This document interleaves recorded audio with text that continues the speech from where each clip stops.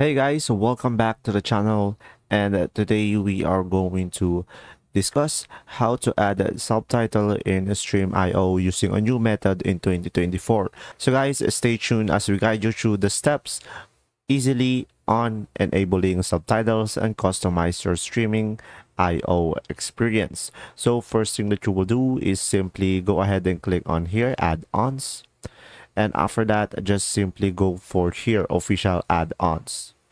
So guys i recommend always use add-ons over here on the official ads on so you are safe. So now as you can see if you scroll down you will have here open subtitles v3 and open subtitles.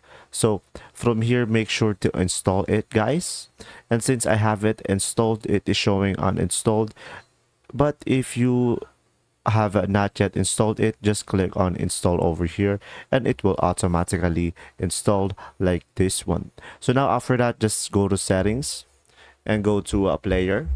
And from here guys you will be able to see here the subtitle language and you'll be able to choose your multiple options that Stremio has to offer.